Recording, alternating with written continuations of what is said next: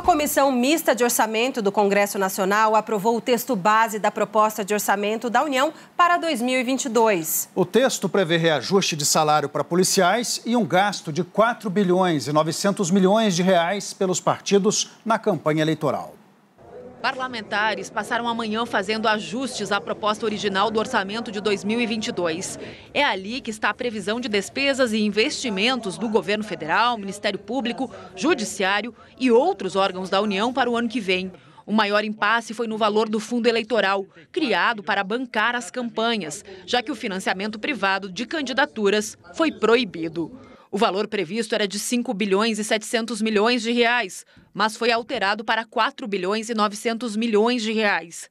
Em 2018, o fundo foi de 1 bilhão e 700 milhões de reais. A lei de diretrizes orçamentárias, no que diz respeito ao fundo eleitoral, estabelece que o, o recurso para o fundo eleitoral é de 25% do, do orçamento do Tribunal Superior Eleitoral de 2021 e 2022. Servidores da área de segurança lotaram o plenário onde acontecia a discussão do relatório. Eles pedem a reestruturação das carreiras com reajuste nos salários. Diante da pressão das categorias e do próprio presidente Jair Bolsonaro, o relatório prevê 1 bilhão e 700 milhões de reais para as mudanças nas carreiras. Profissionais da saúde não receberam aumento durante essa pandemia, tantos outros profissionais não receberam. Não posso concordar com aumentos que estão agora sendo concedidos a policiais federais que têm como salário inicial 12 mil reais, 23 mil reais.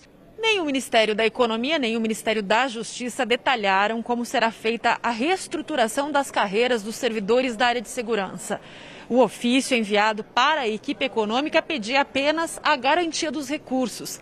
As propostas para cada órgão ainda estão sendo debatidas, como no caso dos delegados da Polícia Federal. O SBT Brasil teve acesso a uma planilha que prevê que o salário de um delegado da classe especial no fim da carreira passe de 30 para 36 mil reais e ainda um aumento de 7,5% a 12,5% para quem tiver especialização ou pós-graduação, o que igualaria o salário ao de um ministro do Supremo Tribunal Federal. A Associação dos Delegados da Polícia Federal diz que essa tabela não é oficial e defende um reajuste linear entre as carreiras e instituições.